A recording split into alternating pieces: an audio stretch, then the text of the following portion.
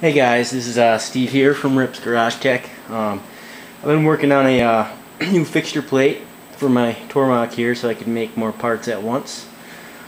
Uh, and I was running into a problem when I was trying to face uh, my piece of material.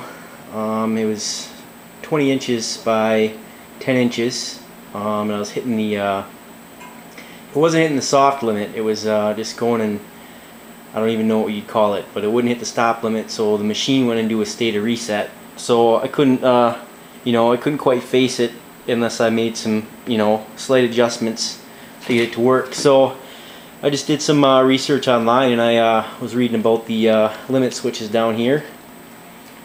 I'll try to zoom in here.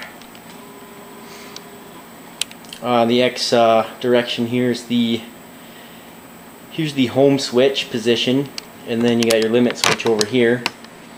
Um, before what was happening is before it got in the new Path Pilot it's supposed to have soft limit so when it hits 18 inches of travel it just automatically stops.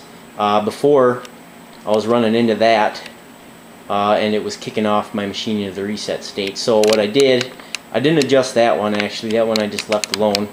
Um, the home switch uh, get a better closer look here can see. Oh, it's hard to see the screws. Let me get a flashlight. Don't have one. Uh, but you can see there's two two screws holding it down. Um, that one I just left all the way out like it is. This one I adjusted. Where are we here? Okay. That one you can see I adjusted out a little bit just enough. I mean, it was like a quarter inch, I think. But anyways, you can see here now, um, if I go, I'm zeroed out here right now. Um, I'll just go. see.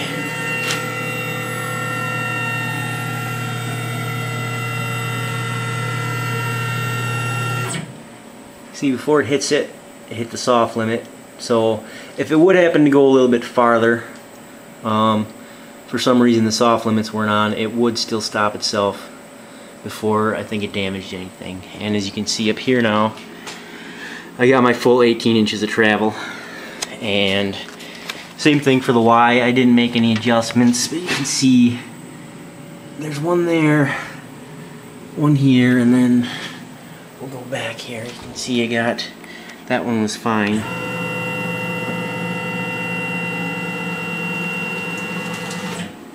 Nine and a half inches. You can see.